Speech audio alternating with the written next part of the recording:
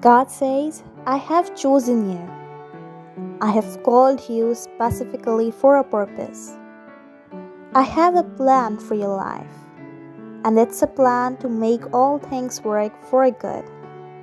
You may be confused or discouraged, but remember that I have called you, and God is getting ready to do a quick work in your life. What you thought would take forever will only take a moment.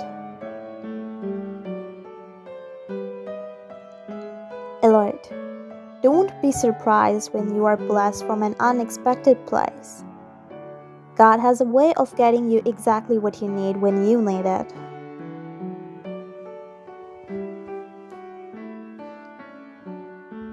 And this weekend is going to be an amazing for you.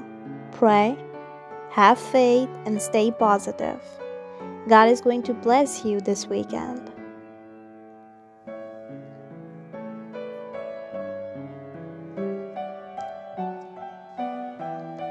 Type Amen to claim your blessings immediately.